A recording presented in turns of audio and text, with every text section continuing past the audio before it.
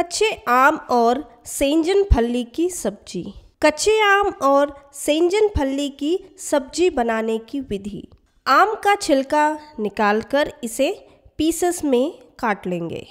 इसके बाद अब पैन में ऑयल ऐड करेंगे और फिर साबुत सूखा लाल मिर्च, अदरक, लहसुन मैंगो के पीसेस और फिर थोड़ा नमक डालकर हम अच्छे से इसे सॉटे करते हैं स्लो फ्लेम पर। एक मिनट तक इसे चलाते रहें और फिर गैस ऑफ़ कर दें और फिर इसे हम ब्लेंडर में डालेंगे और फिर इसका एक बढ़िया सा पेस्ट बना लेंगे।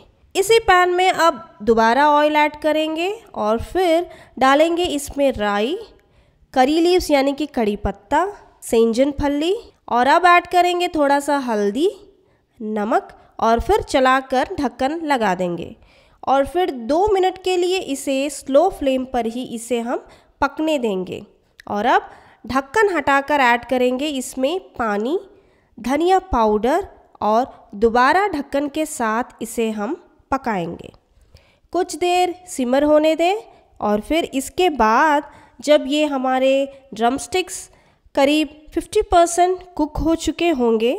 हम इसमें ऐड करेंगे ये कच्चे आम का पेस्ट थोड़ा सा पानी डालकर थोड़ा और बॉईल होने देंगे, ताकि ये कच्चा आम जो है इसके साथ अच्छे से मिक्स हो जाए।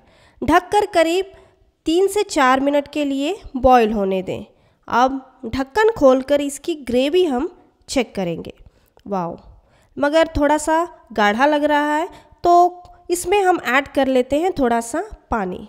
एक बार और मिला लेते हैं। इसके बाद आप गैस ऑफ़ कर देंगे और इसे अब आप चावल के साथ भर पेट खा सकते हैं और अपने परिवार वालों को भी खिला सकते हैं।